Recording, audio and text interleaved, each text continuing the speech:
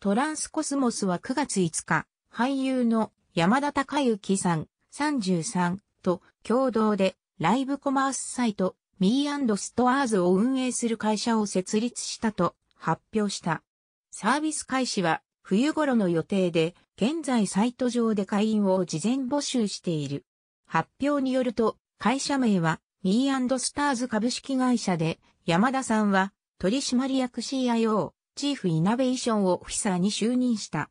山田氏のユニークな発想や芸能経験をもとに、より付加価値の高いプレミアムプロダクトや動画コンテンツの提供を目指していきますとしている。ライブコマースは動画の配信と買い物を連動させた新しい商品販売のサービス。動画の出演者が売り手となって商品を進め、視聴者が買い物をする点はテレビショッピングのような仕組みだ。加えて、ライブコマースではオークションなどの形式も取り入れて、出演者、売り手と視聴者、買い手の双方向のコミュニケーションができるのが魅力の一つ。2016年に中国最大手の EC 企業がこのサービスを始めて人気となり、日本でもフリマアプリのメルカリやショールームなどが芸能人らを起用したライブコマースのサービスを手掛けている。同社によると、このプラットフォームで販売が予定されているのは、出演者、スターがデザインしたものや使用していた商品、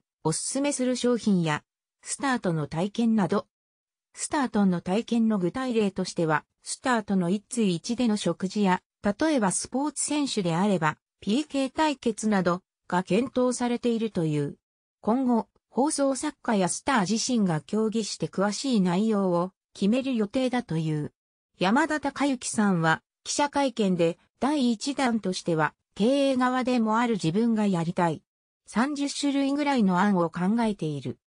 自分のネットワークを使って芸能人ら様々な方に声をかけていて、すでに賛同の声をもらっていると話したという。発表された山田さんと同社の社長のコメントは以下の通り。ミースターズ取締役 CIO 山田孝之コメント創業50年を超える歴史を持ち、一部上場企業であるトランスコスモスのグループ会社ミースターズに経営から携わらせていただくこととなり、とても光栄に思います。私自身、俳優を通じたビジネス経験しかありませんが、イノベーション担当として自分にできることを全力で取り組ませていただきます。そして、Me& ストアーズという革新的なサービスを通し、トランスコスモスをさらに魅力的な会社へと成長させる一つの鍵となれたらと思います。Me& スターズ代表取締役、社長兼 CEO、